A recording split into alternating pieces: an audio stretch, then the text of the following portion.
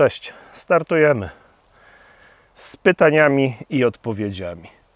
Parę dni temu w jednym z filmów short y, poprosiłem Was o zadawanie pytań do leśnego dziadka, bo stwierdziłem, że dwa lata na kanale, czas, żebyście się dowiedzieli czegoś więcej, o czym ja Wam jeszcze nie powiedziałem. Y, Niektóre pytania mnie zaskoczyły. Przyznam się, że przejrzałem pobieżnie, żeby się chociażby wstępnie przygotować do odpowiedzi. E, Niektórych pytań się spodziewałem, na niektóre odpowiedzi nie padną. Dobra, do rzeczy lecimy od początku w kolejności, że tak powiem, chronologicznej od pytania zadanego przez Adriana Jedlińskiego minutę temu. Dziadku, czy szykuje się następna taka super akcja jak z zastawą M70 za pół darmo? Zastawa M70, czyli ten taki malutki pistolecik jest wręcz za darmo, za 370 zł. I tak, szykujemy jeszcze kilka takich akcji razem z naszym głównym importerem, dostawcą House of Guns. Może nie w tak drobnych kwotach, ale na pewno będą zaskakujące ceny za dosyć ciekawą e, demobilową e, broń. Ale to szczegóły wkrótce. Sławek Gucholek, jest pan byłym wojskowym czy agentem? Skąd takie znajomości, czy też wiedza, gdzie pozyskać tą broń? E, Kochani, już parę razy pisałem, to teraz Wam powiem. Tak, e, w czasach, kiedy komuna się kończyła, to ja latałem w krótkich spodenkach. Nie miałem szansy być agentem. E, Ale spodenki były czerwone. Dlaczego? Dlatego, że z kolegą ukradliśmy taką wielką w czerwoną flagę k- z okazji 1 maja wywieszoną przed e, siedzibą partii w Ząbkowicach Śląskich, gdzie się wychowywałem. Także można powiedzieć, że komunizm miałem na dupie, w dupie w tych czasach. E, Czy ja jestem byłym wojskowym, czynnym wojskowym? E, Ja jestem takim troszkę dzieckiem pułku. Ja się wychowywałem na terenie Koszar w Ząbkowicach Śląskich, JW 2583. Ciekawe, czy ktoś z rezerwistów mnie ogląda. Armaty przeciwlotnicze S-60. Koszary znałem od podszewki, od e, piwnic po strych. Na strychu były ciekawe rzeczy, jeszcze po Niemcach się trafiały.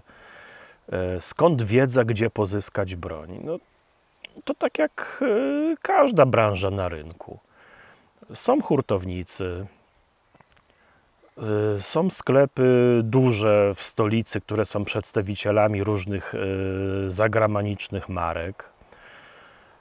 Są przetargi agencji mienia wojskowego, więc jak człowiek w tym rynku broni troszkę się obraca, to kwestia paru miesięcy i wie skąd kupować. Ja tak wychowałem sobie nieskromnie mówiąc kilka sklepów, które po otrzymaniu koncesji na początek kupowały u mnie. Ja oczywiście radośnie im sprzedawałem, nie mówiąc skąd, a później tak wyczuwały na rynku, aha, to leśny bierze amunicję stąd, a tamte pistolety to bierze stamtąd i tak sobie też budowały ten rynek.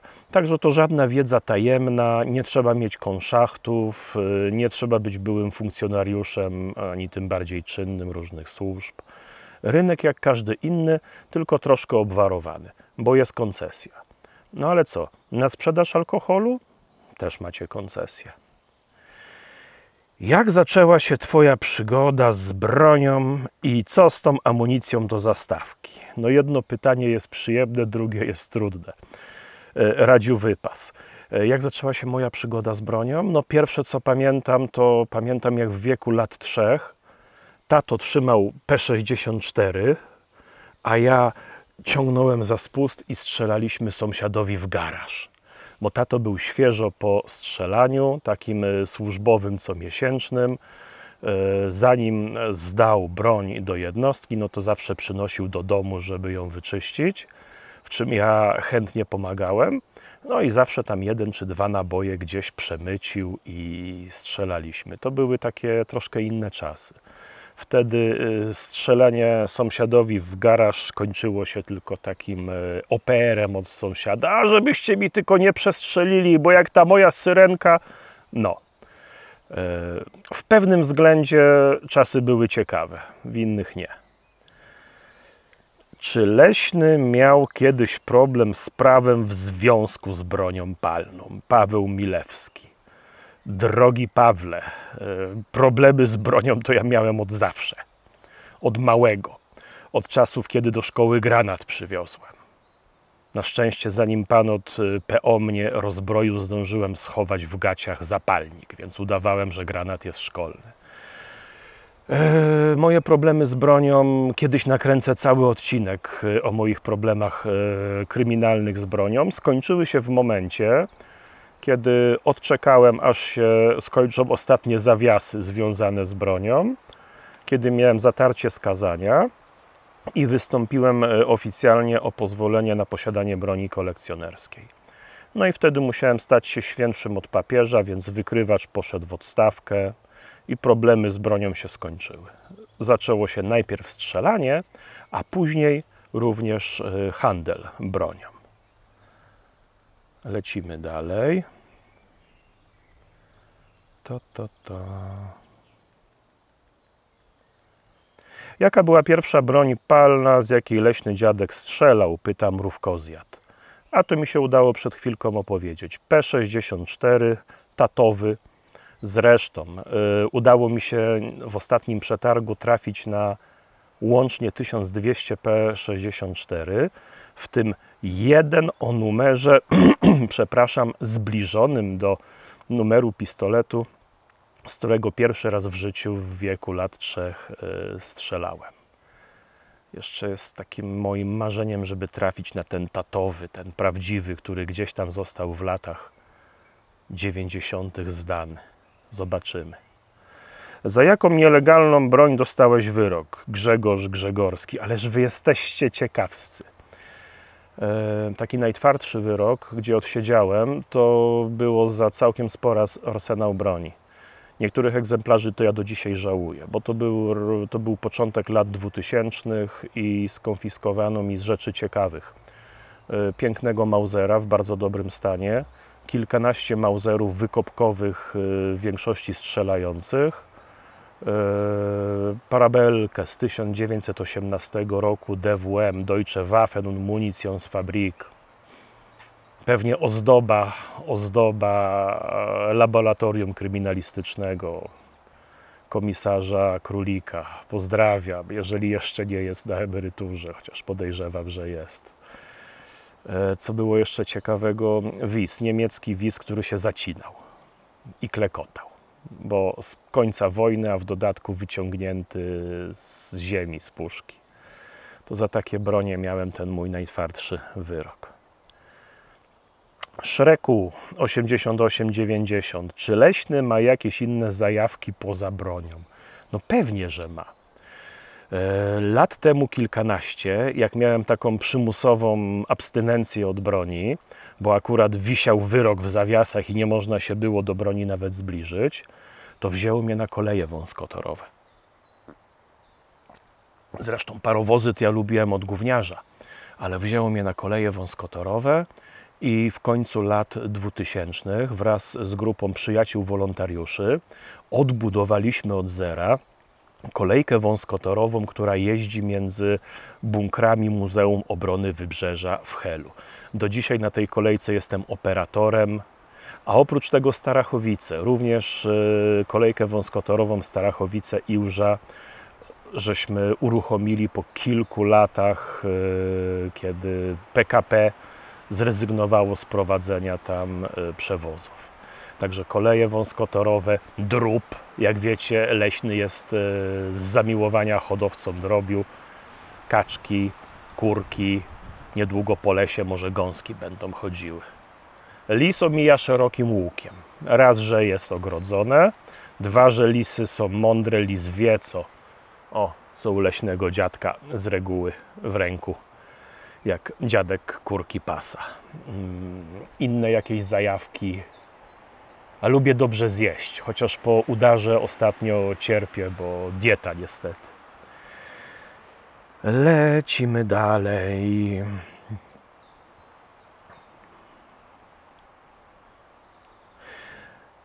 Przemysław Kubin. Chciałbym wiedzieć, co myślisz o produkcji amunicji w Polsce lub o nieprodukcji amunicji.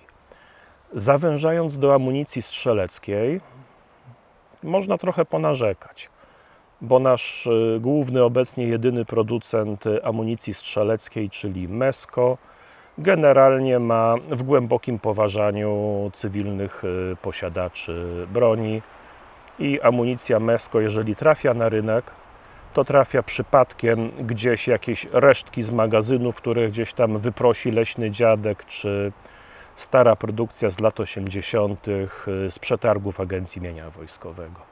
Wiecie, doszło do tego, że w Skarżysku,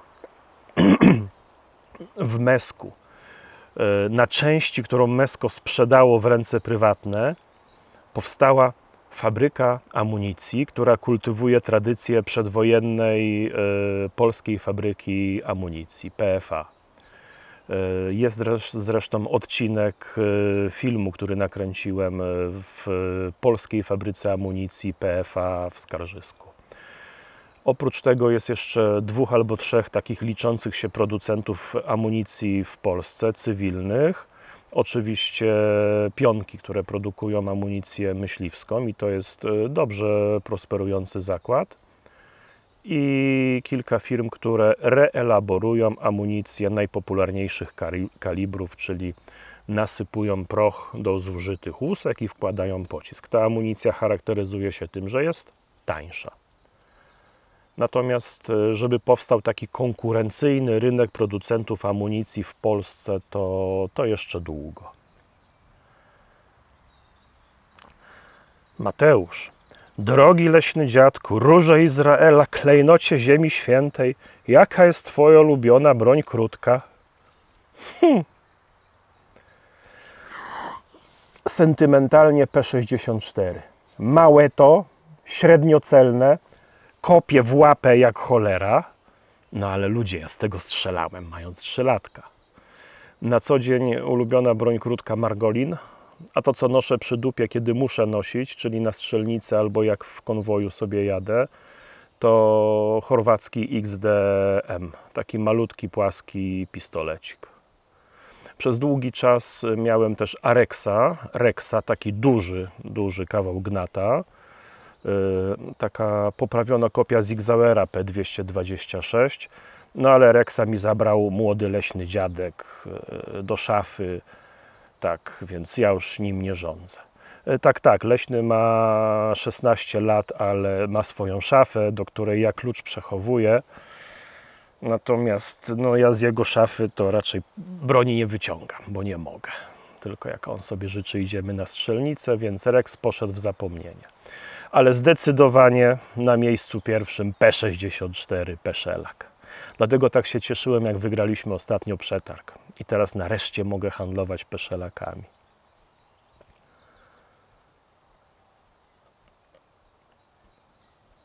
Przenoszenie, przewożenie broni z na strzelnicy.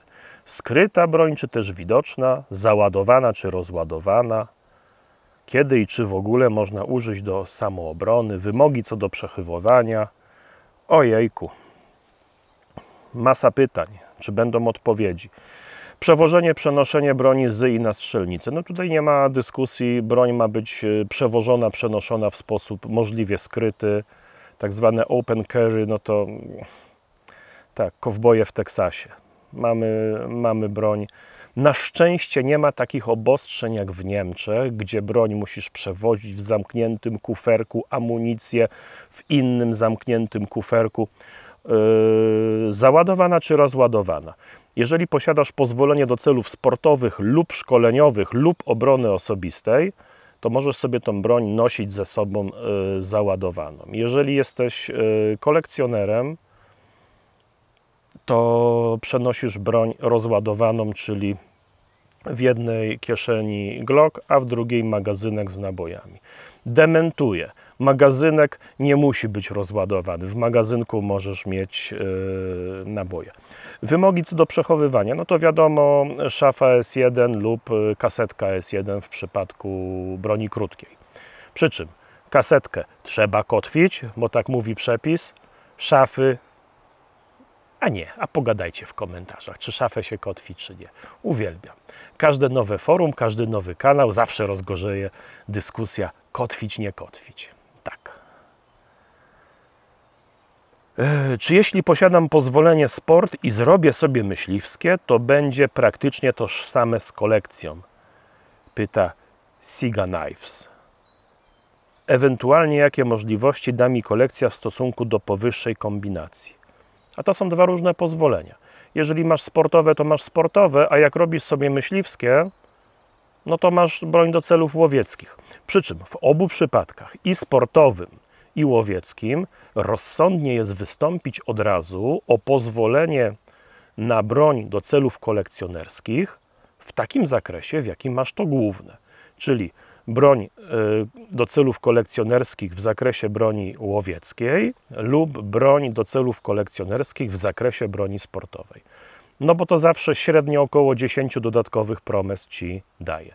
Natomiast, y, kochani, nie ma żadnych, przepraszam, y, szybkich ścieżek, ułatwień, jeżeli chodzi o jeden rodzaj broni, żeby przeskoczyć na, na inne pozwolenie. No to jest takie troszkę patologiczne, mi się to też nie podoba, ale tak to wygląda. Jak wygląda egzamin na policji na kolekcjonerkę? Pyta Piotrek Spitfire. E, Piotrku, odsyłam Cię do filmu, w którym jeden z podopiecznych mojego stowarzyszenia opowiada, jak wyglądało egzaminowanie go na kolekcjonerkę na Wydziale Postępowań Administracyjnych w Gdańsku, w Trójmieście. On tam dosyć szczegółowo to opisuje. A co z tą bronią się dzieje po śmierci właściciela? Pyta Kopciuch.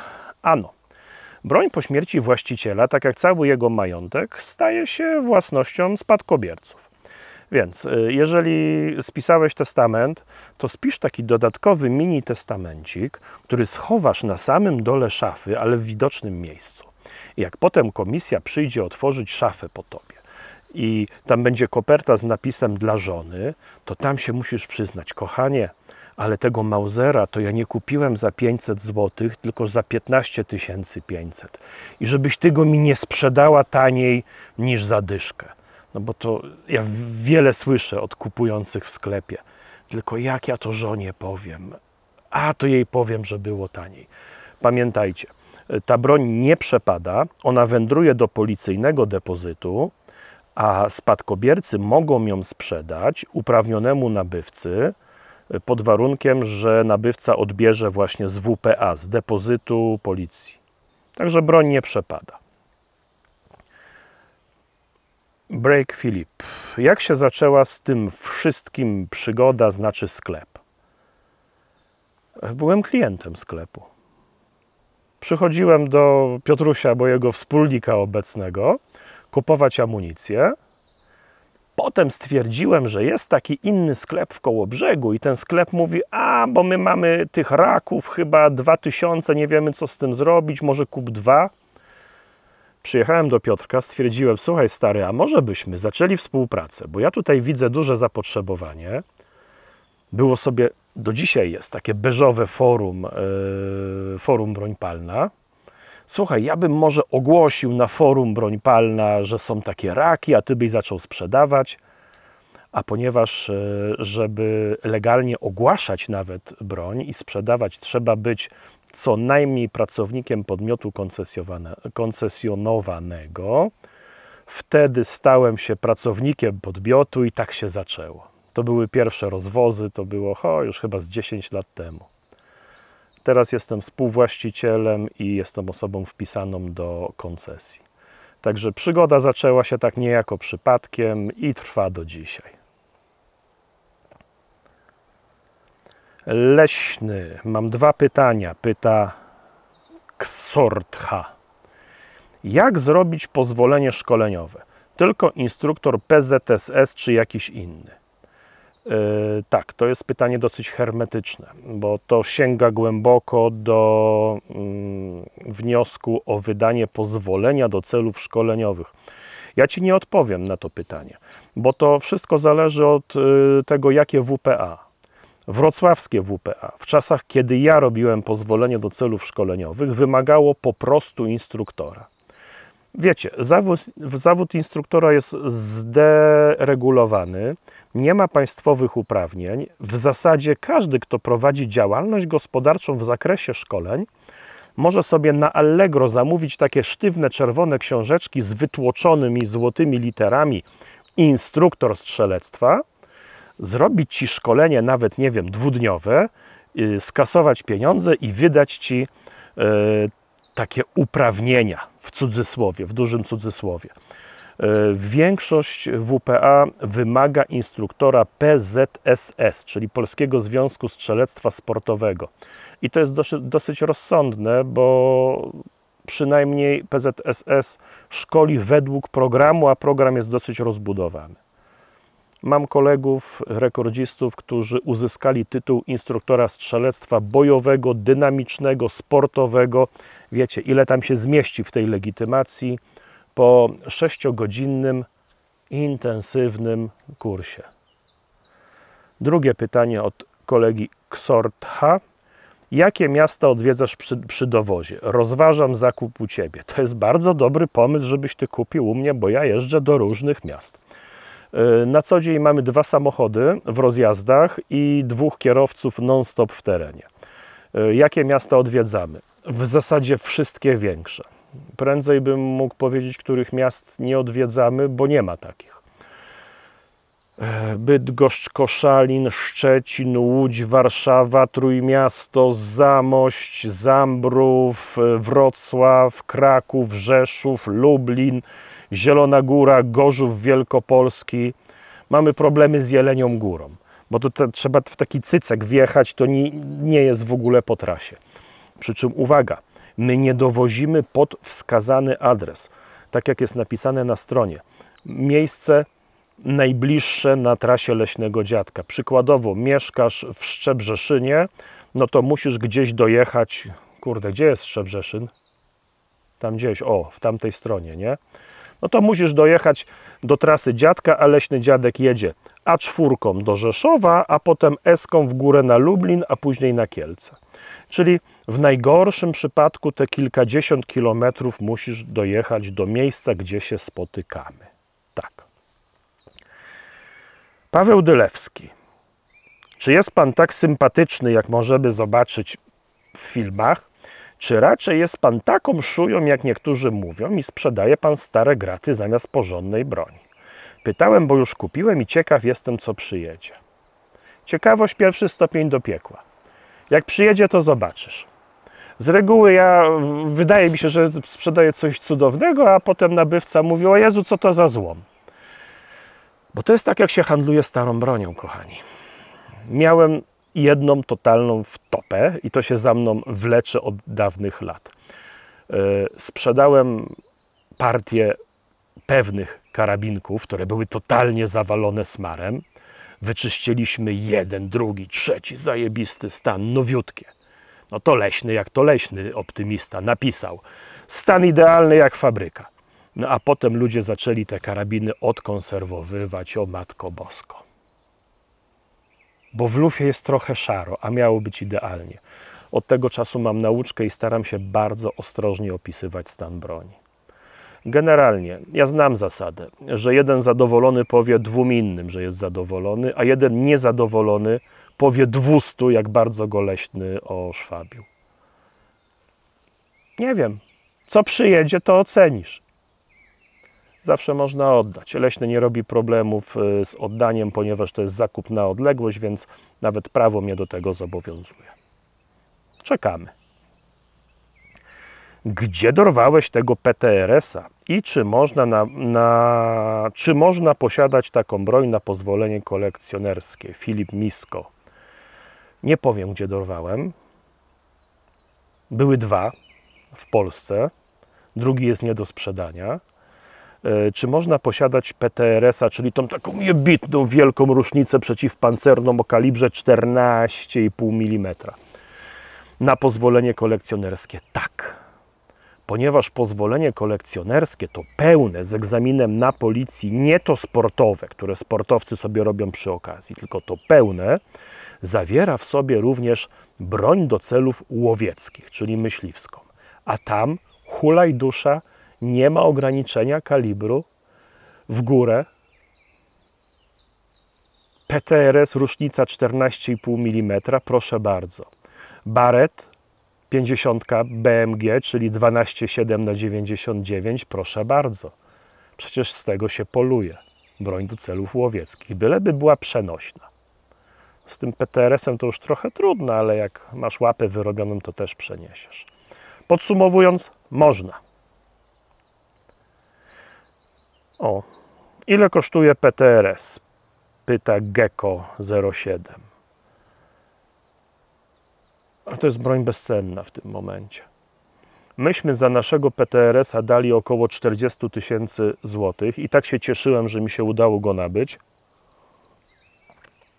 On teraz ciężko pracuje. Mm, nie wiem, bo nie ma rynku. Nie ma rynku, nie ma tej broni na rynku. Także na to pytanie niestety nie odpowiem. Wojciech Brożek. Czy na pozwolenie do celów kolekcjonerskich można posiadać broń krótką w kalibrze powyżej 12 mm? Ano nie. I tutaj jest, tu jest to ucho igielne, przez które się nie przeciśnie e, żaden wielbłąd. Otóż e, wszystko, co ma więcej niż 12 mm, można posiadać na pozwolenie pełne kolekcjonerskie pod warunkiem, że jest to broń myśliwska, łowiecka. A jak wiecie, myśliwi nie mają prawa posiadać broni krótkiej. Więc Smith Wesson 500 lub Desert Eagle AC, ta broń, która ma kaliber 12,7 mm, ale jest bronią krótką, w Polsce tylko proszę ja Was na koncesję i ewentualnie podmiot koncesjonowany może zrobić prezentację użycia takiej broni i dać Ci postrzelać na strzelnicy. Dzień dobry, mam dwa pytania. Apollo BM33. Skąd Pan bierze te pełne, zaplombowane skrzynie z amunicją? Skąd? No są w zasadzie dwa źródła. Pierwsze zasadnicze to jest mój ulubiony importer, Hausy ja zrobię z tego audycję normalnie sponsorowaną, bo ja ciągle o Was mówię. House of Guns, który gdzieś wyszukuje w Europie po różnych arsenałach y, zimnowojennych i po wojnie w Jugosławii i przywozi takie skrzynie z bronią. Równie ważne źródło dla mnie to jest y, przetargi Agencja, Agencji Mienia Wojskowego coraz rzadziej trafia się taka amunicja, którą można wypuścić na rynek cywilny, czyli nie przeciwpancerna, nie zapalająca, nie smugowa, ale się trafia.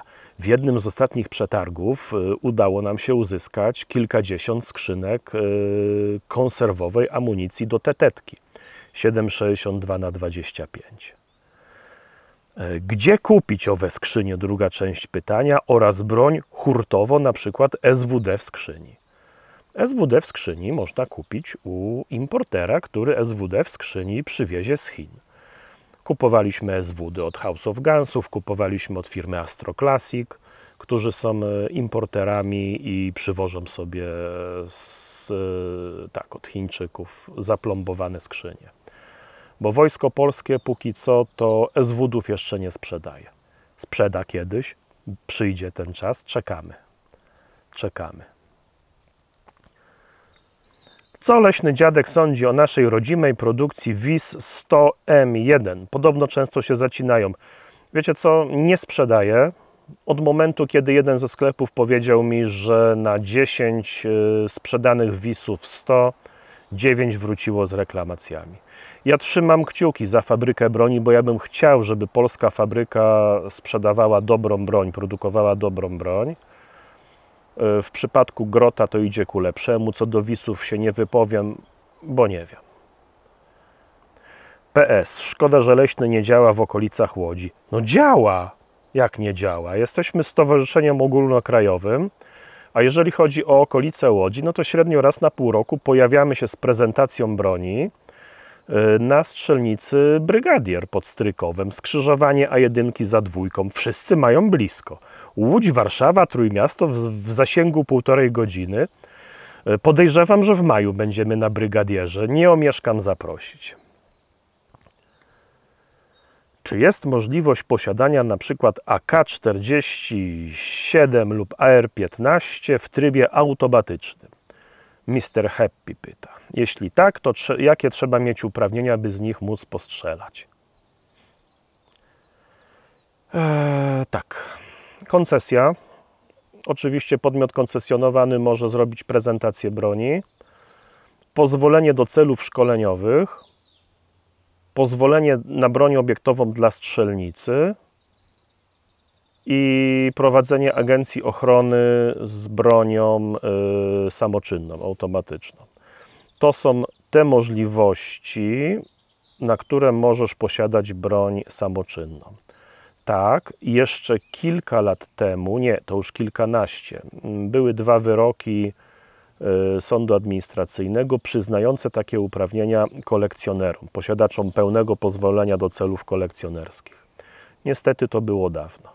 Innych możliwości nie ma. Little Big Boss. Jak wygląda proces sprowadzania broni z USA? Czy jest to możliwe? Jest to możliwe. Są podmioty, które sprowadzają broń z USA. Leśny dziadek się tym nie zajmuje. Wybacz, nie odpowiem.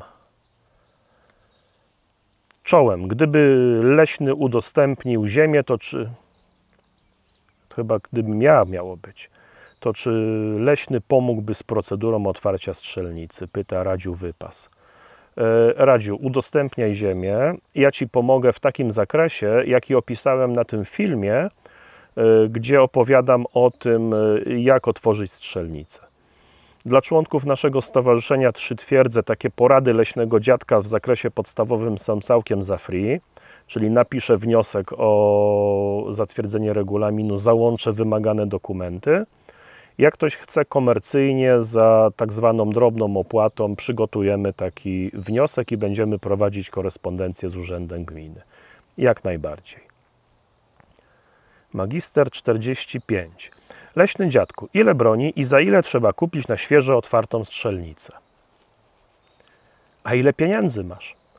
Nie idźcie, nie idźcie w jakiś potężny asortyment, bo wam się klient pogubi. Pamiętajcie, właściciele świeżo otwieranych komercyjnych strzelnic. To, co klientowi powiesz, że mu się podoba, to jemu się to podoba. Oczywiście, każdy chce strzelać z kałasza, każdy chce strzelać z Glocka. Yy, najlepiej mieć taką broń, która jest rozpoznawalna medialnie. Może powiem, jak ja zaczynałem paręnaście lat temu na Srebrnej Górze założyłem sobie, że będę miał Mausera Mosina, dwa karabiny z II wojny światowej, że będę miał Kałasznikowa, no bo z Kałasza no to każdy wystrzelał ten urlop w wojsku i że będę miał strzelbę gładkolufową. Przy czym ja naiwny kupiłem dwururkę, a wszyscy pytali o pompkę. Bo wiecie, Terminator, te sprawy, yy, także podejrzewam, że zestaw pięciu, sześciu broni na początek w zupełności wystarczy. No i fajnie by było mieć różnicę. No, ale to dziadek ma. Amunicja do tłumika dla cywili kiedy, dziadku? Pyta Bartosz Galant. Bartku, jak to kiedy? Już jest. Amunicja do tłumika chodzi o tą poddźwiękową, z której może strzelać z broni krótkiej, długiej.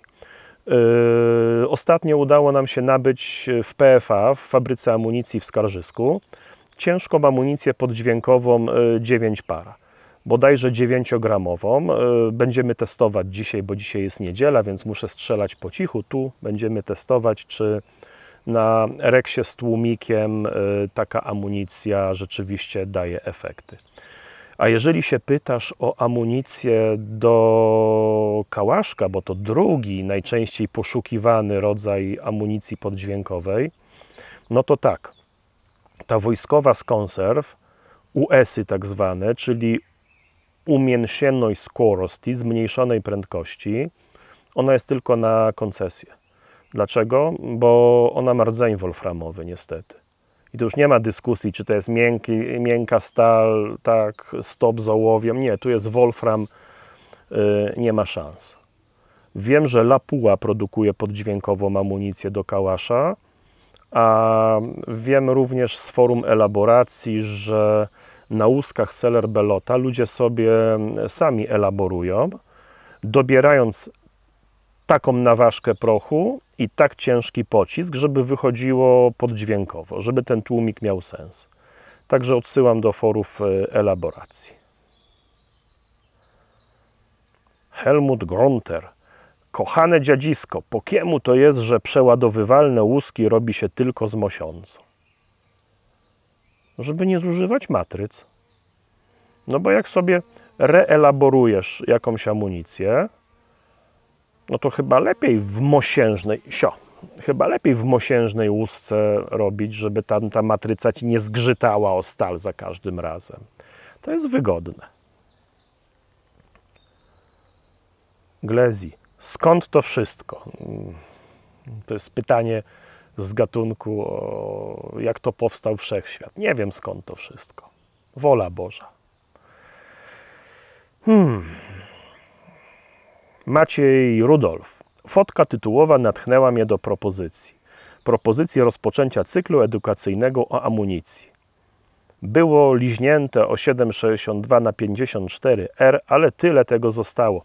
Widzicie, problem jest w tym, że jeżeli miałbym zrobić ciekawy program o różnego rodzaju amunicji, czyli tych kolorowych czubkach do różnych e, nabojów karabinowych, no to musiałbym jako podmiot koncesjonowany posiadać tego w cholerę. No bo nie da rady iść sobie do agencji imienia wojskowego i zakupić, nie wiem, skrzyneczki amunicji przeciwpancerno zapalającej, żeby zrobić o niej film. Nie, tam trzeba kupić od razu 100 tysięcy. Więc ja nie mam materiału źródłowego. Y, czaiłem się, zbierałem się ponad rok, żeby nazbierać w koncesyjnych zbiorach takich ciekawych rodzajów amunicji karabinowej i wtedy powstał film o przebijalności płyty stalowej, ten, który ma ponad milion wyświetleń na moim y, profilu. Ale to było naprawdę wysiłek, bo musiałem przemielić setki tysięcy sztuk amunicji, żeby sobie z każdego po troszku zostawić. Oj, tu mamy trudne pytanie. Jungs.pl. Na jakim etapie jest film o 9 na 39 Wintores? Wintores jest, amunicji nie ma. Czekam na dostawę dwóch paczuszek amunicji 9 na 39 żeby nakręcić film o naszym fałszowanym e, WSS Wintores. Mario Krakoni co tam jeszcze ma i w jakich ilościach AMW lub inne służby, co w przeciągu kilku najbliższych lat może trafić na rynek komercyjny. AMW ma to, co wojsko przekaże. A co wojsko przekaże, to są wojskowe plany. Na dzień dzisiejszy AMW będzie miało kolejną partię pistoletów P64. AMW na pewno właśnie znakuje pistolety P83 Vanat Byłem, widziałem przy okazji odbiorów P64. Będą piękne, nowiutkie wanady z tym oznaczeniem oczywiście PL AMW. Teraz w przetargu są złomowate AKM Eły i AKM-y. Nie sądzę, żeby ktoś to wziął, bo to są trupy. Y, stoją 3 y, CKM Maxima strasznie zjedzone rdzą i na składzie w Regnach jest kilkaset skrzyń z bronią sportową. Co jadę na odbiór, to one dalej tam stoją i agencja twierdzi, że to pójdzie chyba na przetop, no bo musieliby przy każdej sztuce szukać producenta, a co oznacza ten krzyżyk, ta gwiazdka, po prostu im się to nie chce. Smutne to, ale tak, tej broni sportowej chyba nie zobaczymy. A co więcej, tajemnica wojskowa, nie wiem. Obserwator, komentator pyta, jaki AKM obecnie dostępny jest najlepszej jakości? Czy leśny dziadek jest w stanie sprowadzić jakąkolwiek jednostkę broni oficjalnie dostępną poza Polską? Yy, obecnie dostępny AKM najlepszej jakości. Yy, no to każda pliszka swój ogonek chwali. Ja twierdzę, że z tego, co jest dostępne na rynku, to na pewno te sowieckie AKM-y w pełnym ukompletowaniu. Ja już nie mam, jeszcze kilka sklepów ma jakąś resztkę, będę od nich skupował i sprzedawał, bo mam e, dużo, dużo zapytań. Natomiast z broni taniej i dostępnej w e, kategorii AK, no to rumuńskie AKMS-y. Bardzo gruby chrom w lufie, wręcz taki jak w Bułgarach, warto kupić. No i one są tanie, poniżej trójki. I gdzieś na horyzoncie są AKM-y polskie, radomskie murzynki, te z usuniętą jedenastką. Thomson Design. Skąd pojawiło się zamiłowanie do broni? Wyssane z mlekiem matki. Dziecko pułku jestem, tak jak wcześniej opowiadałem. Hugo Schmeisser. Miło gościć na moim kanale. Jaka jest ulubiona konstrukcja strzelecka dziadka i ulubiony kaliber? Ja jestem, jestem standardowy. 7,62 na 39, a ulubiona broń no to karabinek RKMD, czyli ręczny karabin maszynowy Diektiariewa, zwany RPD, co jest e, e, rozwija się jako ruczny puliemiot Diektiariewa. Nagram osobny odcinek, mimo że irytujący historyk już dosyć szczegółowo o nim nagrywał, ale ja mam trochę inne podejście, bardziej e, pod kątem szczegółów technicznych. To jest moja ulubiona, ukochana broń, szczególnie w wersji full auto. Więcej o RPD w odcinku o RPD. Tom.pl. Co trzeba zrobić, żeby legalnie można było sobie kupić granatnik wraz z amunicją na nadchodzące czasy? Lub jak wpłynąć na urzędników, żeby poszerzyli dostęp do kalibrów do przynajmniej 40 mm? Eee chcesz postrzelać z granatnika, idź do wojska. Stanowcze nie granatnikom w rękach e, cywili. To w Ameryce ledwo przechodzi na paru strzelnicach. Nie, nie jestem zwolennikiem tak szerokiego dostępu do broni. Kacper EF. Ile miał Pan lat, kiedy pierwszy raz strzelał Pan z broni palnej? A, to, to, to co opowiadałem. Trzy latka, P64, zostało mi do dzisiaj. Lecimy niżej. Jak poznałeś się z irytującym historykiem? A to jest dobre pytanie, bo zadzwonił do mnie kolega Mateusz i powiedział: Słuchaj, leśny, bo jest sobie taki kanał irytujący historyk i on szuka skrzynek do muzeum. Myślę sobie, ten irytujący? ten, co go tak namiętnie oglądam z jego filmami o historii wojny w Jugosławii, orzesz w mordę. No to mówię, Mateusz, weź ty mi tutaj załatw namiary na irytującego. No i żeśmy sobie zadzwonili, on przyjechał, zabrał skrzynki, stwierdziliśmy, że e, w pewnych aspektach mamy podobne poczucie humoru i zaczęła się współpraca. Jakieś spotkanie na helu, wspólne strzelania i tak to poszło do dzisiaj. Także wszystko dzięki Mateuszowi. Jakie ma dziadek doświadczenia z karabinem Mosina? Żywotność lufy, celność, wytrzymałość konstrukcji, inne wrażenia ze strzelania. To zależy jaki. Ja jako pierwszą broń na strzelnicy miałem polskiego Mosina krótkiego wzór 44. No powiem Wam tak, największa bolączka tej broni no to jest brak chromowanej lufy. Wprawdzie polskie e, Mosiny miały o niebo lepszą e, jakość wykonania i lepszy stop e, żelaza na lufę, natomiast lufa się drze. Może nie tak jak w tetetkach, gdzie 2-3 tysiące strzałów i lufa jest trup, natomiast no, oczywiście Mosin klekocze, radomski Mauser nie klekotał, natomiast Mosinowi się szybko kończy lufa. 5-6 tysięcy strzałów, a nie daj Boże, jak zapomnisz wyczyścić, a strzelasz amunicją e, korozyjną. E, ja bardzo lubię krótkie Mosiny. Bardzo. Ja mam w swojej prywatnej kolekcji chyba dwie sztuki polskich, króciutkich e, Mosinów wzór 44, tylko mi szkoda z nich strzelać. Już wolę strzelać z Mausera, który też jest nowy, Natomiast wiem, że tam po wystrzeleniu 10 sztuk amunicji i wyczyszczeniu nie będzie śladów, że strzelałem. Francik 1382. Najbardziej uniwersalna i prosta broń dla świeżaka, który chciałby zrobić pozwolenie. Trzy typy ceny zakupu amunicji. Kup se czterotakta w bocznym zapłonie, na przykład radomkę. Kup sobie kałaszka i kup sobie dowolny pistolet. A jeszcze lepiej, to chodź dużo na strzelnicę, przed uzyskaniem pozwolenia. Strzelaj z różnej broni klubowej, kolegów i wtedy sam dojdziesz do wniosku, co dla ciebie jest najfajniejsze. A koledzy ci powiedzą, e, na jaką amunicję wydają najwięcej pieniędzy. Mateusz Gnaczy, kiedy mi załatwisz magazynek do wiepra? A to Marka pytaj. A na poważnie, o, jaką najstarszą broń miałeś w, w brocie i najbardziej nietypową? Najbardziej nietypową to ja miałem za czasów nielegalnych, ponieważ e, 20 parę lat temu znalazłem na strychu takiego rat killera, taką pułapkę na mordowanie szczurów, e, na strzelanie solą w dupę złodziei.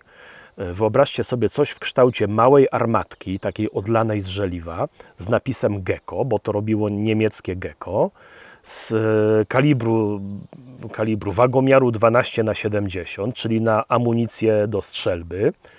E, Zamek klinowy, czyli taki klin się wsuwało, naciągało się iglice, robiło się taki odciąg, taki sznureczek. Lufa była w tą stronę, do sznureczka. I jak ten złodziej wchodził gdzieś tam kraść siano, na przykład Niemcowi w stodole, to nagle było bach i tą solą po dubsku mu leciało. Ewentualnie przechodził szczur y, do świnek, przegryzł ten y, drucik, bach, nie ma szczura. To była najbardziej nietypowa broń, która została mi skonfiskowana 20 parę lat temu. A najstarsza? Yy, miałem dwa rolling bloki z końca XIX wieku, dwa lata temu. Nawet wiem, kto z oglądających jednego rolling bloka ma od leśnego dziadka. Leśny, czy masz wiedzę, jak wygląda statystycznie zdawalność WPA? Czy prawdą jest, że można mieć tylko jedną poprawkę? Tak, no to wynika z ustawy. Możesz mieć tylko jedną poprawkę. Radosław Matysiak pyta. Zdawalność znacząco się poprawiła, ale cudów nie ma. Jak się nie nauczysz, to nie zdasz. Zdawalność, jeżeli chodzi o moich podopiecznych Stowarzyszenia Trzy Twierdze, no to w tym momencie jest około 95%. Tych 5 na 100, co nie zdało, to albo ich zeżarły nerwy i gdzieś się pomylili przy egzaminie praktycznym, źle strzelili, albo znam takich ancymonków z podejściem, to wszystko na logikę, tam się uczył nie będę. Dziękuję, do widzenia, poprawka. Radosław Matysiak znowu pyta. Pytanie dotyczące przenoszenia broni w ramach kolekcji. Czy mogę nosić pistolet z wpiętym pustym magazynkiem, czy to jest już inaczej traktowane? Nie. No jeżeli w broni nie znajduje się amunicja, to jest przenoszenie broni, więc jak najbardziej możesz mieć wpięty pusty magazynek. Komandor Rudzik. Jaką najdziwniejszą broń miałeś do dyspozycji lub z niej strzelałeś? No to jest nieco inne pytanie. Najdziwniejsza broń. No to granatnik. Miałem okazję strzelać z jednorazowych granatników RGW-90 i mam, nie osobiście, ale na koncesję mam RG Rurę, czyli RGP Pans 7, czyli RPG-7 z głowicą termobaryczną szczególnie Wam polecam. Jest moc. Halcedon się pyta, czy zrobisz dziadku film o drodze do pozwolenia na cele szkoleniowe? I jak zdobyć pozwolenie na kuszę? Kuszę. No musisz być członkiem Towarzystwa Kuszniczego, tudzież innym rekonstruktorem średniowiecznym i zgłaszasz się o pozwolenie do komendanta powiatowego. Yy, Czy zrobię film o drodze do pozwolenia na cele szkoleniowe? Nie, bo to byłaby bardzo wąska grupa odbiorców, mało kogo to interesuje, a w zasadzie wszystko jest opisane w ustawie, plus troszkę o tym mówiłem dzisiaj wcześniej. Mister Lucas 44. Chcę kupić Mausera. Jaki będzie najlepszy? A co wolisz? Blondynki, brunetki, chude, grube? Stary, jaki ci się podoba, taki będzie najlepszy.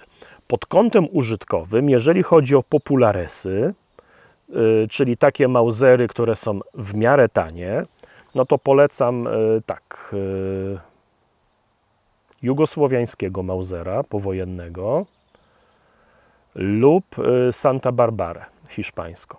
To są nie do zajechania sztuki na strzelnicę. Natomiast najlepszy, no to oczywiście kup snajperkę, taką jak miał Janek w czterech pancernych, z oryginalną lunetą Zeissa. Tylko wiesz, ten Jugol czy Santa Barbara będzie Cię kosztował od 1500 do 6000 zł, a snajperka od 15 tysięcy do 60. To jest ta różnica. Zygmunt Zarzecki. Czy pamiętasz swój pierwszy raz? O, to znaczy pierwsze zacięcie własnego kałaszka. No, pamiętam jak mi poleciało do tyłu pokrywa, wyleciał zamek, się okazało, że dziadek zarżnął kałaszka i opory ryglowe się rozgięły i po prostu wszystko wyleciało. Na szczęście śmignęło mi tuż obok.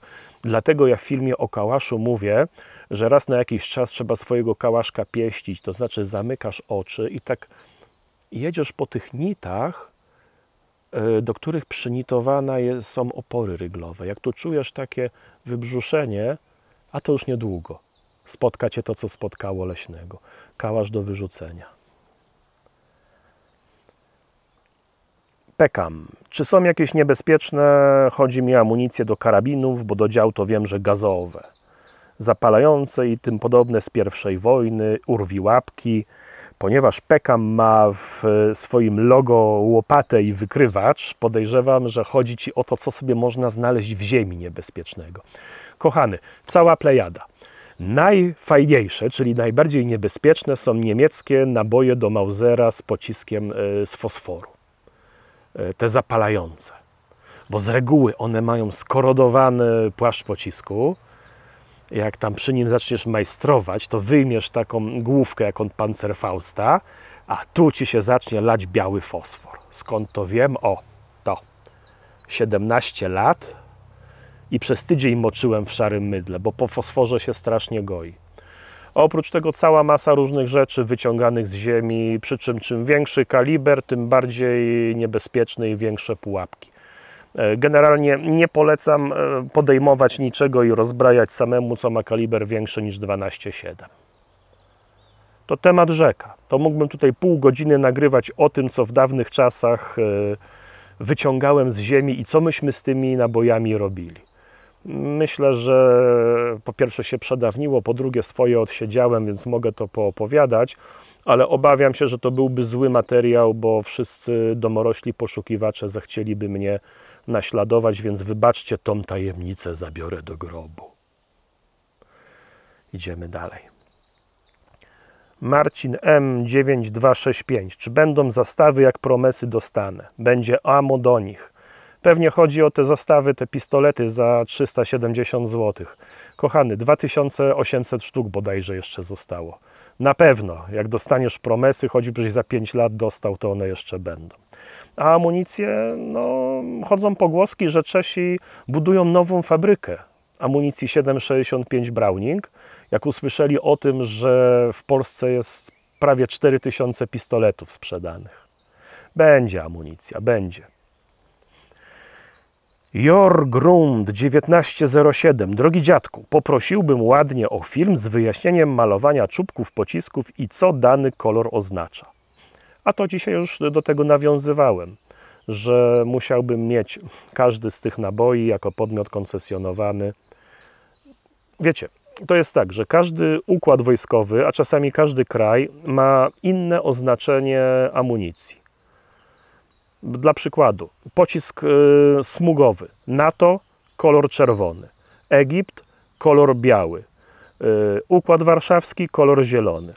Może kiedyś pokuszę się o to i zrobię takie przykładowe malowanie y, pocisków, sam sobie pomaluję i będę pokazywał do kamery i tłumaczył, aczkolwiek to się wiąże z pewnym ryzykiem.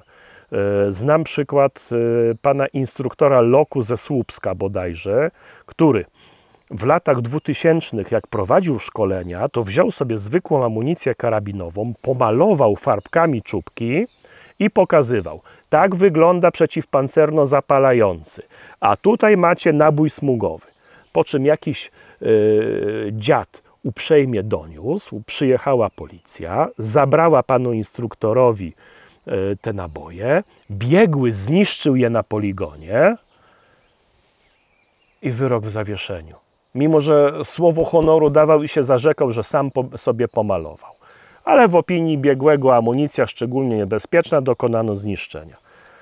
Dobra, może zrobimy taki film. Tylko będę przy Was malował zwykłą amunicję i wyciągał na zielono pomalowane, to było smugowe. Dziadku, drogi dziadku, czy lubi Pan kabanosy? Marcin Jarkowski. E, kochani, ja od pięciu miesięcy nie jem mięsa. Przeszedłem na ryby. Od czasu, jak mnie szlak trafił, jak to się mówi po niemiecku, lub e, po naszemu, jak mnie apopleksja dorwała, czyli miałem udar mózgu, e, przestałem jeść mięso. Do lutego bieżącego roku uwielbiałem kabanosy. Skądś ty to wiedział? Jakie strzelnice należą do stowarzyszenia? Pyta Grzegorz 37628. Czy można uzyskać pozwolenie kolekcjonerskie szybciej, posiadając wcześniej pozwolenie sportowe? Podobno służby mundurowe zwolnione są z egzaminu na kolekcję, czy to prawda? Jakie strzelnice należą do mojego stowarzyszenia Trzy Twierdze, do naszego? Strzelnica bojowa na Helu, strzelnica na twierdzy srebrnogórskiej, otwierana za paręnaście dni strzelnica na twierdzy Kłodzko oraz gościnnie mamy prawo wstępu za free na strzelnicę Sudeckiego Stowarzyszenia Kolekcjonerskiego tuż przy ośrodku szkoleniowym Jodła o 4 km ode mnie. No i piąta strzelnica. Jak ktoś się uprze i będzie chciał mnie odwiedzić, to ta, na której się znajdujemy, strzelnica leśnego dziadka, ale tutaj tylko boczny zapłon, y, bo sąsiedzi i w ogóle. Czy można uzyskać kolekcjonerskie szybciej, posiadając wcześniej sportowe? To zależy jakie. Bo jeżeli chcesz mm, pozwolenie kolekcjonerskie, ale w zakresie broni sportowej, to oczywiście, że szybciej, bo wtedy piszesz wniosek, załączasz 242 zł i badania lekarskie. Jak tylko WPA się obrobi, to otrzymujesz pozwolenie ale jeżeli chcesz, jeżeli myślisz o takiej drodze do pełnego, e, do pełnego pozwolenia do celów kolekcjonerskich, e, czyli z rozszerzeniem i egzaminem na policji, to nic ci nie da to, że masz sportowe. I czy służby mundurowe są zwolnione z egzaminu na kolekcję? Służby mundurowe to są zwolnione ze wszystkich egzaminów na wszystkie rodzaje pozwolenia na broń. Tak naprawdę nie zdają egzaminu. User LTS, czy interesował się Pan bronią, gdy Pan był dzieckiem? Tak, e, tak jak już wcześniej mówiłem, ale mogę jeszcze dodać, że jak miałem 5 lat, to dla odmiany na strzelnicy w Ząbkowicach Śląskich już nie z pistoletu, tylko z kałasznikowa. Dostałem kałasza, w którym były trzy naboje, ogień ciągły i jak nacisnąłem, to wylądowałem w pokrzywach. Kochani, przez e, dwa tygodnie nie interesowałem się bronią palną, a potem mi wróciło. Bartosz Zawistowski. Jakie są warunki u Pana w klubie kolekcjonerskim? No, zaje fajne. Y, podejrzewam, że chodzi Ci o moje stowarzyszenie kolekcjonerskie Trzy Twierdze. Składka roczna 300 zł, 83 grosze dziennie. W ramach tej składki dostęp do tych czterech prawie pięciu strzelnic, o których mówiłem dwie minuty wcześniej, oraz pełna kompleksowa obsługa w zakresie uzyskania pozwolenia. To znaczy, nie jest to tak jak w niektórych dużych stowarzyszeniach, że otrzymujesz jakieś zaświadczenie, a potem sam sobie piszesz wniosek. My jesteśmy jeszcze na tyle małym stowarzyszeniem, że stać nas czasowo żeby dla każdego z Was przygotować komplet dokumentów, gdzie Wy tylko składacie podpis i wysyłacie do WPA w oczekiwaniu na egzamin. I obiecuję, że utrzymam to, nawet zatrudniając dodatkowych pracowników, nawet jak będziemy stowarzyszeniem dużym. Ja trzy twierdzę zakładałem z myślą o kilku moich znajomych. Chcieliśmy mieć po prostu darmowe stowarzyszenie, które będzie pretekstem do posiadania broni kolekcjonerskiej. No a to, że to się rozrosło i że teraz jest nas już 1200, dane sprzed dosłownie godziny, samo się zrobiło. To przez te boje cholerne filmy w internetach. Tak to działa. Adek Szczelec pyta, czy można mieć czarny proch bez pozwolenia? W zasadzie tak. Jeżeli masz czarnoprochowca, I jeżeli do tego czarnoprochowca zrobisz sobie europejską kartę broni, to możesz proch czarny kupić w sklepie i posiadać go no, w sumie bez zezwolenia. Natomiast jeżeli masz 10 kg czarnego prochu, udzielasz się w internetach, pisząc o tym, jak ty byś kurwa tam rozsadził cały ten taki owaki wiejską 10 i przyjdzie do ciebie służba trzyliterowa, co się nazywa agencja, i ta służba cię zamknie, to ty się nie wytłumaczysz, że ty masz czarny proch do pozwolenia, że ty masz czarny proch do czarnoprochowca, którego jeszcze nie kupiłeś. Ty masz w sumie taki bardzo miękki, przyjazny materiał wybuchowy. Także czarny proch tak, pod warunkiem, że broń czarnoprochowa i najlepiej europejska karta broni dotycząca tegoż konkretnie czarnoprochowca. Wilp, jak zaczęła się Twoja przygoda z bronią? Jak przerodziło się to w taką działalność? Jakie ciekawe anegdotki z prowadzenia takiego biznesu w jego wczesnych latach? No w jego wczesnych latach to powiem Wam tak, byłem chyba pierwszym sklepem, który broń dowoził do klienta. Tak mi się wydaje. albo ja, albo Polarms, ale Polarms chyba zaczął dowozić troszkę później. Dzisiaj wozi już niemal każdy podmiot. Natomiast w tych pierwszych latach, kiedy dowoziliśmy broń, policja jeszcze była nieoswojona z tego typu działalnością i zdarzyło mi się, zdarzyło mi się, że mnie policja dwa razy tak zglebowała. Raz to miałem cieplutko, Mm, zanim wytłumaczyłem, zanim zadzwonili do WPA, nie wiem po co do WPA, dopiero później do Departamentu Zezwoleń i Koncesji, żeby potwierdzić, że taka koncesja istnieje i taki człowiek jest wpisany w koncesję, no to chcieli mnie tam na miejscu po prostu wręcz skazać za nielegalny rozwóz broni. E, to były takie przygody z samego początku, tak. King of Memes, ulubiona broń było, kiedy wspólny odcinek z irytującym, a powiem Wam, że szykujemy taki jeden bardzo gruby projekt. Myślę, że wczesna jesień, łamane przez późna jesień tego roku, ale będzie naprawdę grubo. Czy radomski Mauser klekocze? No, oglądałeś, oglądałeś czterech pancernych. Radomski Mauser nie klekotał. Tradytor 83. Ile zniżki dla stowarzyszonego przy zakupie broni? Moja ulubiona odpowiedź, a to zależy. Przy zastawie M70 zniżka wynosi 0 zł, bo tu idziemy, jak wiadomo, na marży groszowej, ale y, standardowo jak stowarzyszeni kupowali u mnie SWD, to było chyba 200 albo 300 zł taniej, jak kupowali kałaszki, to było stówka taniej. To wszystko zależy od tego, jaką mam broń, w jakiej cenie kupiłem, jak wysoką marżę sobie narzuciłem, bo na niektórych egzemplarzach stać mnie naprawdę, żeby zrobić taniej. Damian 83. Gdzie pan kupuje te skrzynie pełne amunicji? Było kobieciarz. Skąd zajawka dotycząca akurat amunicji? Podejrzewam, że wiedzy na ten temat nie zdobywasz z internetu. Oj tak. Nie wiem, ile miałem latek, ale byłem małym dziedziusiem. Inne dzieci sypiają z misiami, a mi tato przyniósł nabój z zielonym czubkiem do Mosina. Pamiętam jak dziś w łóżeczku ja sobie zasnąłem z tym nabojem, patrząc się na tą jego zieloną główkę. Nie wiem skąd się to we mnie wzięło, ale uwielbiam amunicję. E, już nie zbieram pojedynczych egzemplarzy, już zbieram na konserwy, na paczuszki. E, takich wariatów jak ja znam kilkunastu w Polsce. Niektórzy mają pozwolenie, niektórzy zbierają tylko deko. Nie potrafię Wam tego fenomenu wytłumaczyć. Czym ciekawsza amunicja, to chyba jest jak ze znaczkami pocztowymi. No nie da się wytłumaczyć e, racjonalnie fenomenu jakiegoś hobby, jakiejś tak zwanej zajawki. Po prostu tak mam. Broń ok, broń jest fajna, ale amunicja, hmm, cudo.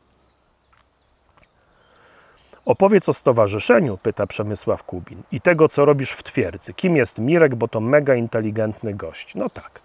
Mirek, nasz wspólnik, y, prowadzi szkolenia dla osób, które się obiegają, o, ubiegają się o pozwolenie na broń. Y, o Mirku za dużo nie mogę opowiedzieć. Mirek, co chce, to sam Wam o sobie opowie. No a co do stowarzyszenia, a to było przed chwilką o tym, jak się nam niechcący rozrosło w całkiem duży organizm. E, Przemysław Kubin, drugie pytanie. E, Co, o, co myślisz o sytuacji politycznej w Sudanie Północnym? Tam jest Dżaba, stolica? Chyba Dżaba. Jest w cholerę drogo. I tam bym akurat nie pojechał. E, Mają pecha, tłuką się od lat. Sudan Południowy. Nie wiem, jaka jest obecnie sytuacja polityczna, bo to jest kociołek i tam się miesza. Przemysław Kubin, no i stary, wyczerpujesz limit powoli. Ile trzeba mieć skrzynek po amunicji, aby zbudować altanę? Ze 120? I pamiętaj, żeby wzmocnić wieczkami, bo inaczej cała altana robi takie rozkołysz, rozkołysz. Tak jest. Trawkę 7605. Czy dziadek pokaże swoją prywatną kolekcję? Kiedyś to była kolekcja, bo jak nie miałem, yy, jak nie miałem koncesji, to miałem bodajże 47 sztuk broni w moich yy, czterech szafach w domu. Teraz to nie ma kolekcji. Teraz mi zostały dwie szafy i tam stoi może 15 sztuk takich perełek, takich fabrycznie nowe DPM polskie. To jeszcze nic, bo tego naprodukowano kilkadziesiąt tysięcy. Ale fabrycznie nowe DP28 polskie tego podobno zrobiono 600. E, PPS z pierwszej serii produkcyjnej, z HCP, co tam jeszcze u mnie stoi? Dwa polskie e, Mosiny wzór 44, e, dwa RKM, RKM Diektiariewa, czyli RPD, polska Pepesza z fabryki w Radomiu, kilka Mauserów. Może kiedyś zrobię jakąś taką wystawkę. Jak wygląda praca handlarza bronią? Dzień jak co dzień. Wstajesz, czwarta rano,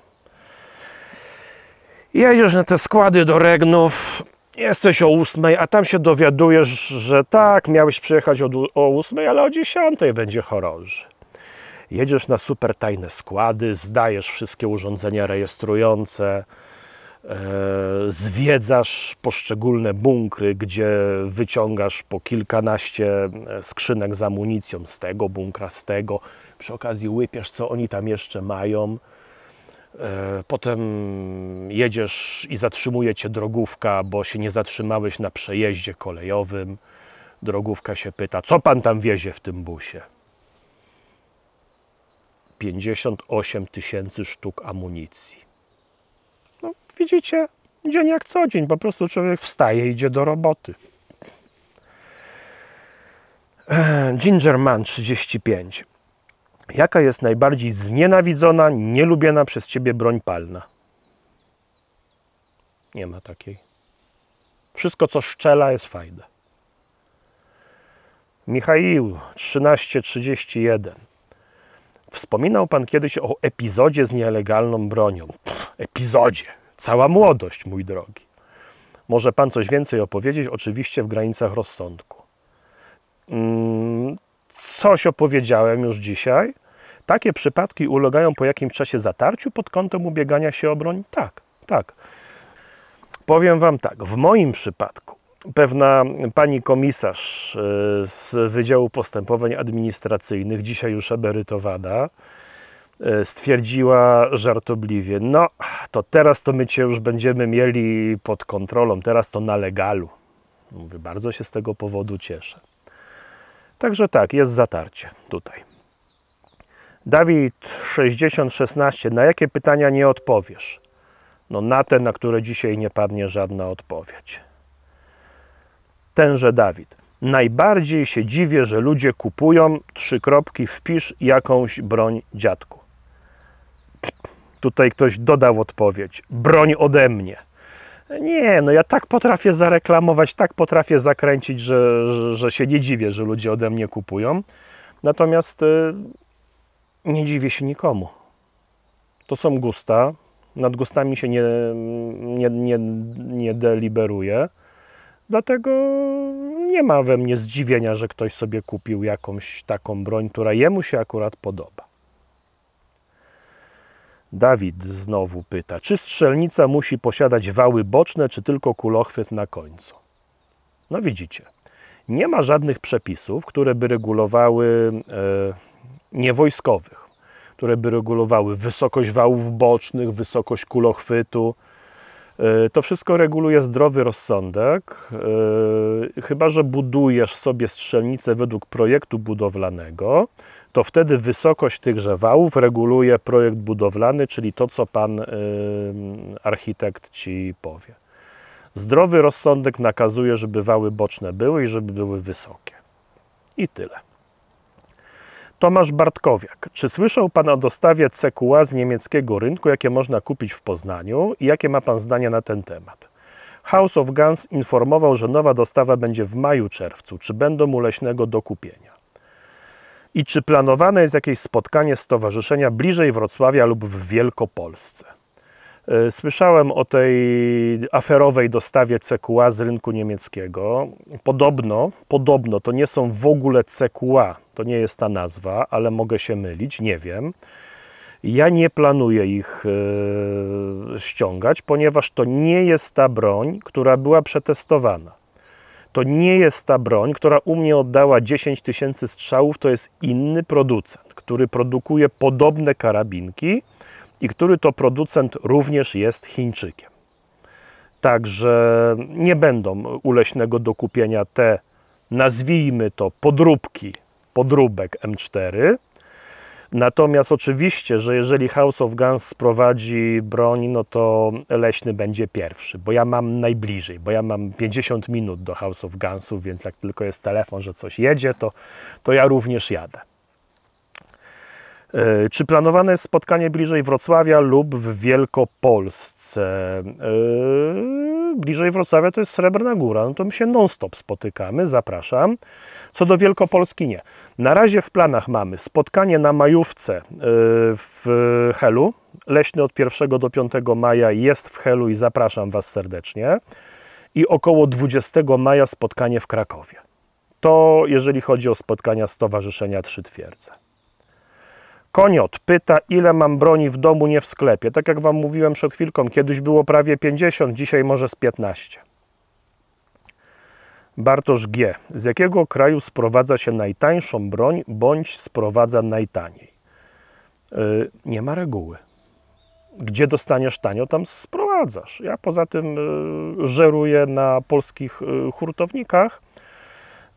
Czasami raz na miesiąc przywieziemy partię broni z Niemiec. Wiecie, odchodzi to starsze pokolenie Niemców, które szczególnie w DDR-ze, które strzelało sportowo i tą broń sportową SM2, jakieś Waltery można dosyć tanio kupić w Niemczech. Więc my to sprowadzamy i sprzedajemy. Cześć, kiedy pojawią się znowu Jericho 941 z demobilu? Pyta Jędrek 750. Dzisiaj jest niedziela. Jeżeli uda mi się wypuścić dzisiaj wieczorem ten film, to proszę ja Was, E, Jericha z demobilu pojawią się pojutrze, czyli we wtorek. W każdym bądź razie planujemy na dzień 9 mm, kwietnia sprowadzić znowu kilkadziesiąt, a może kilkaset tanich pistoletów Jericho 941. Gangman. Jak zdobyć zgodę na amunicję szczególnie niebezpieczną? Koncesja tylko i wyłącznie koncesja na handel bronią i amunicją. Nie ma innej drogi na amunicję szczególnie niebezpieczną. Hubert Wieczorkiewicz. Czy mając pozwolenie kolekcjonerskie mogę ubiegać się o bycie myśliwym w najbliższym kole? To znaczy tak, ja ci nie zabraniam, ustawa ci nie zabrania, ale bycie myśliwym w najbliższym kole to jest zupełnie inna droga. To jest zupełnie inny rodzaj pozwolenia i posiadanie pozwolenia do celów kolekcjonerskich w niczym ci tej drogi nie ułatwia. PS 00508. Jaka jest Twoja ulubiona broń palna, dziadku? Opowiadałem. Tomasz Mocny. Dlaczego leśny dziadek? I jak postrzelać z automatu? Dlaczego leśny dziadek? To w czasach, kiedy wisiał nade mną wyrok w zawieszeniu i zajmowałem się kolejami wąskotorowymi, ni w 5, ni w 9 wpisałem sobie taki nick na forum wąskotorowców, y, forum 750mm.pl. A leśny dziadek. I tak zostało. Dopiero potem się dowiedziałem, jak zacząłem e, współpracę z Piotrkiem, moim obecnym wspólnikiem, że leśne dziadki to jest takie pejoratywne określenie tych myśliwych starszego pokolenia, kapelusz z wąsikiem, znaczy kapelusz z piórkiem, tutaj wąsik, duży brzuszek i raz na rok kupuje paczkę amunicji.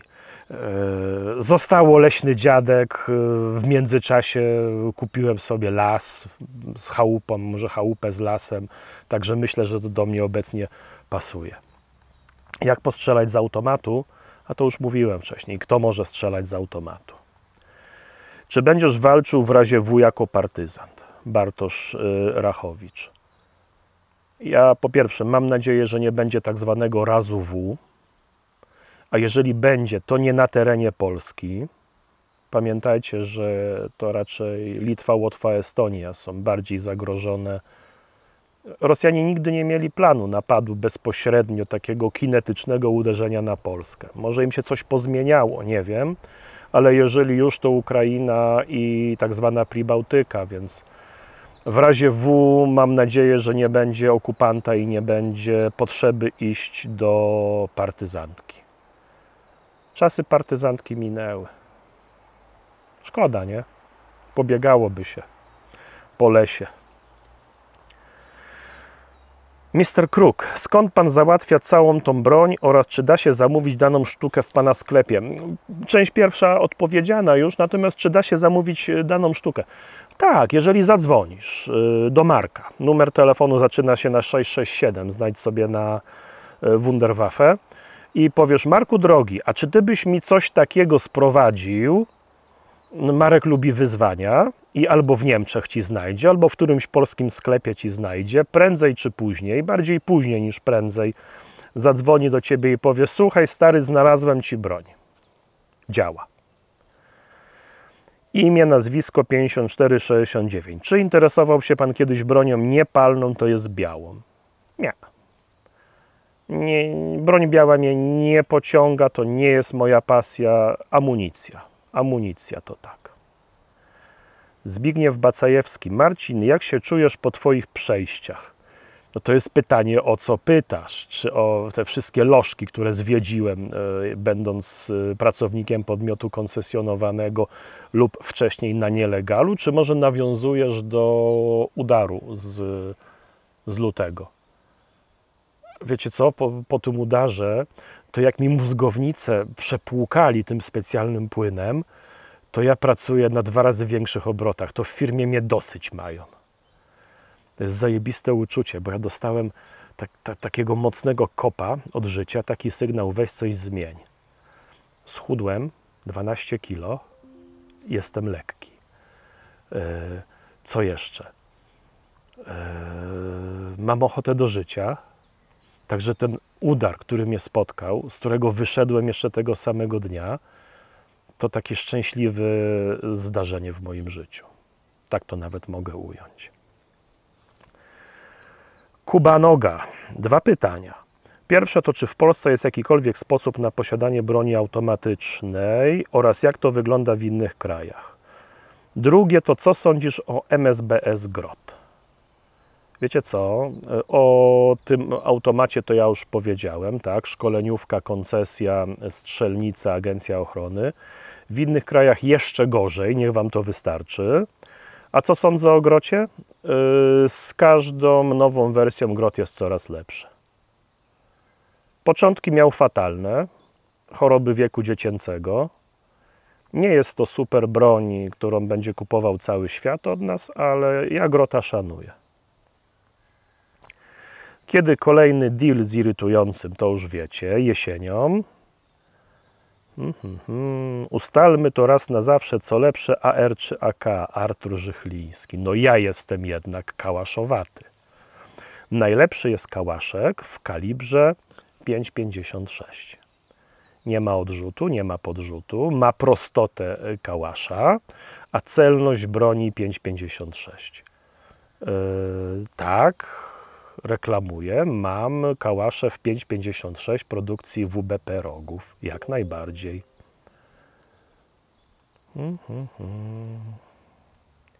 I wiecie co? Wygląda na to, że nam się kończą pytania, ale jeszcze mam pytania zadane na Telegramie.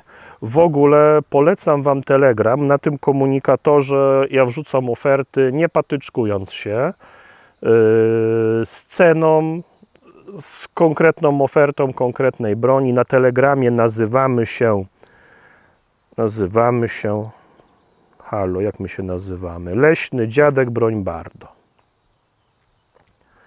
No to lecimy z odpowiedziami na pytania. Jak wygląda sprawa z terminami dowozów? No mamy bardzo duże zaległości. Na trasę nie wezmę, nie wrzucę więcej niż 50 sztuk broni. Trasa to jest jeden lub dwa dni w tygodniu. Także w tym momencie mamy około dwumiesięczne zaległości, jeżeli chodzi o dowozy broni.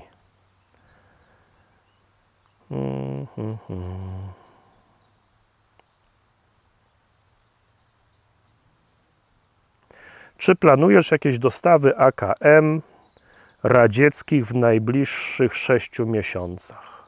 Dawid pyta. Nie planuję, bo żaden z hurtowników nie mówił mi, że takowe by mógł posiadać. Natomiast planuję dostawy polskich AKM-ów z usuniętym oznaczeniem. Drugie pytanie od Dawida. Dokąd nocą tu ptajesz? Możesz wiedzieć, jeśli chcesz.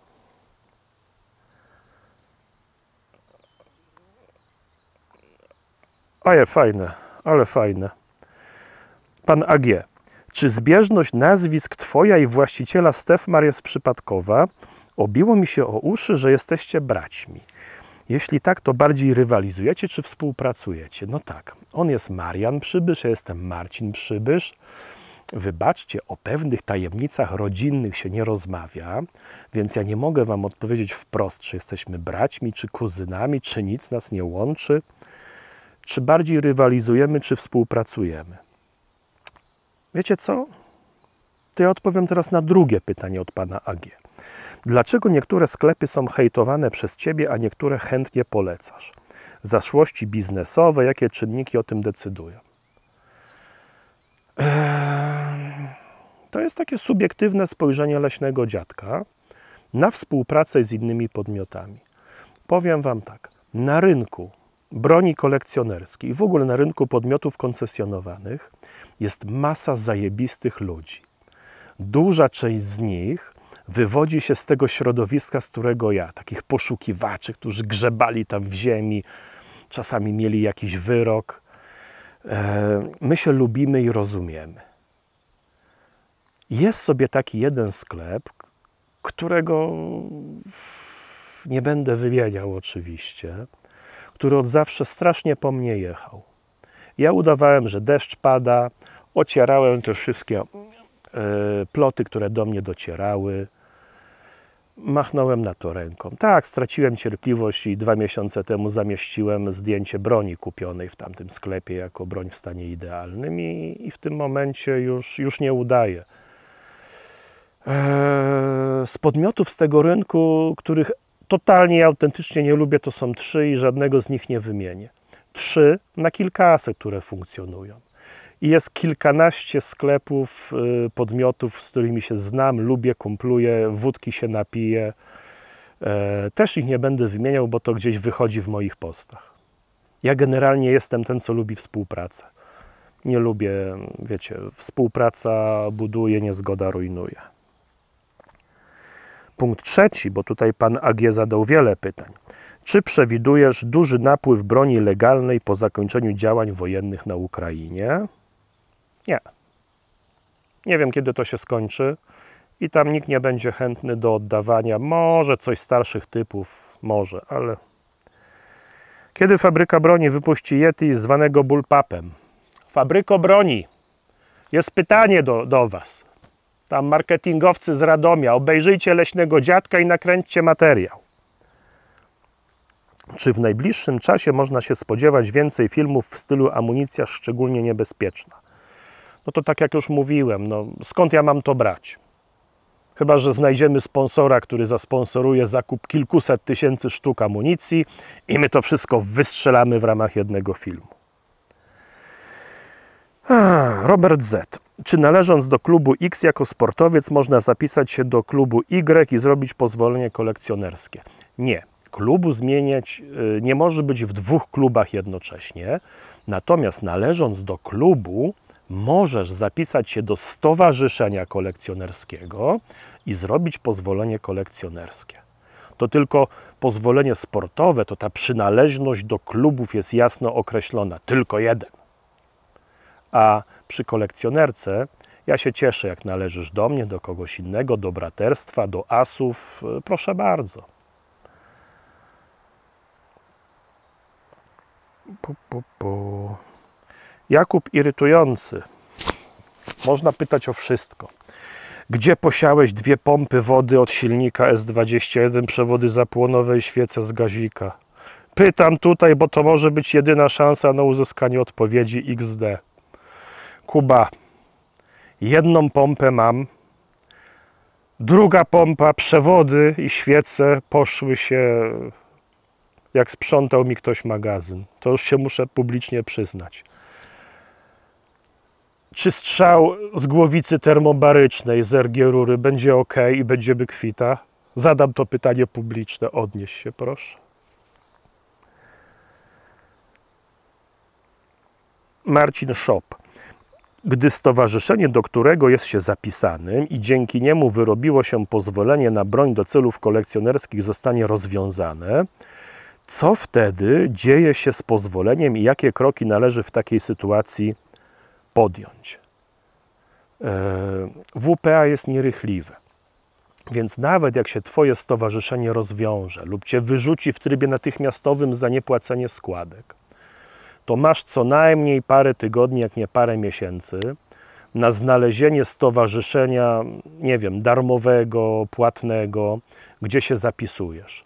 Bo tak, jeżeli stowarzyszenie przestaje istnieć, to u ciebie przestaje też istnieć ważna przyczyna posiadania broni. I rzeczywiście mogą ci cofnąć pozwolenie. Ale z tego co wiem, na przykład braterstwo tam masz 10 zł składki za bycie w stowarzyszeniu. Nie w klubie, tylko w stowarzyszeniu. 10 składki rocznie. U mnie, jak ci twoje to stowarzyszenie zniknie, 83 grosze dziennie. Także to jest chyba, powiem wam, najmniejszy problem. Co wy o tego jeża? Dokąd tupta nocomierz? No ja wam powiem, kiedyś budzimy się z kapralem w namiocie, patrzymy, a tam jeże, dosłownie chmara jeży, wyżera nam z talerzyka resztę kaszki, które babcia kaprala nam zostawiła. I kapral wtedy wrzasnął, diabły, diabły, wpadł z powrotem do namiotu i razem z tym namiotem zaczął uciekać. Osoba kaprala. Tutaj się wprawdzie takie pytania nie pojawiły, ale gdzieś tam wszyscy mnie pytają, a kim jest ten kapral, o którym ciągle gdzieś wspominasz? Ja powoli dojrzewam do tego, żeby upublicznić kilka filmów z kapralem z lat dawnych. To będą hity internetu, to ja Wam mówię. Na dzisiaj jest taki film e, z podkładem muzycznym z Kazika. Zabiłem kolegę na poligonie i tam cały teledysk jest nagrany przeze mnie z udziałem kaprala. Także kapral się pojawi, na pewno się pojawi. Mm, mm, mm. Czy coś tu jeszcze? O, znowu pytanie o Jericho. No to już padła odpowiedź. Co dziadek poleca na pierwszą broń, to też chyba odpowiadałem. Za co zostałeś wyklęty przez braterstwo? Pyta Jakub Pietrusiewicz. I czy jesteś moim dziadkiem? Ja jestem dziadkiem wszystkich Polaków. Ja każdego zaproszę do stowarzyszenia. A braterstwo będzie fajną puentą na zakończenie tego przydługiego materiału. Ciekawy, czy ktoś wytrwał do końca. Jest sobie Stowarzyszenie Braterstwo, jedno z największych stowarzyszeń skupiających kolekcjonerów, później kolekcjonerów i sportowców. Jest sobie Forum Braterstwa, jest e, masa e, uczestników tego forum jest dziadek z niewyparzonym językiem, który się udziela we wszystkich tematach, który się wpisuje wszędzie, który prowadzi nachalną reklamę. Początki z braterstwem były zajebiste, powiem Wam. Na przykład zawoziłem jako podmiot koncesjonowany karabinek do testowania AKM z Rogowa w kalibrze 5,56. Strzelaliście w braterstwie zawody z tego karabinka. No ale potem dziadek się rozhulał. No i dwa koguty w kurniku. Wiecie, prezes braterstwa lubi dać psztyczka w nos. Dziadek nie lubi, jak dostaje psztyczka w nos, więc zaczął odpowiadać. No i w momencie, jak dziadek ujawnił, jakież to wielkie obroty ma z tytułu współpracy z braterstwem, prezes Paweł stracił cierpliwość, ostrzegał, ostrzegał, a potem zbanował dziadka. Więc tak podsumowując, no słuchajcie, braterstwo robi kupę dobrej roboty. Dzięki braterstwu od y, kilku lat mamy kilka, może kilkanaście, może nawet kilkadziesiąt tysięcy pozwoleń na broń więcej. Więc ja jako handlarz bronią naprawdę nie mogę narzekać na kogoś, dzięki komu ja mam obrót w sklepie. E, czy nam jest po drodze, czy nie po drodze. W pewnym sensie stanowi taką mikrokonkurencyjkę dla braterstwa. Tam jest kilkadziesiąt tysięcy członków, u mnie 1200. E, Więc tu się śmieję z tej konkurencji, bo ja to tam jestem taki mały żuczek. Nie mam kosy z braterstwem. Miałem nieporozumienia. E, Generalnie nie ma zniżek na hasło braterstwo, no bo są zniżki na hasło Stowarzyszenie Trzy Twierdze. No wiadomo, że będę preferował swój podmiot. Natomiast myślę, że topory wojenne z obu stron zostały zakopane. E, Promujemy to strzelectwo. Bardzo mi się podoba hasło trzeba siać, więc siejmy. Dobra, tematy wyczerpane. Cztery razy akumulator mi się wyczerpywał. Muszę zainwestować w lepszy sprzęt. Idę teraz y, pociąć i poskładać materiał. Może wrzucimy dzisiaj wieczorem. Także do następnego QA, które będzie za rok zapewne, a kolejny film za tydzień będzie naprawdę samogęste, bo szykuję Wam film o bojowym strzelaniu z moździerza Antos. Będą wybuchy. No to pa, trzymajcie się. I dzięki wytrwałym, że dotrwali do końca.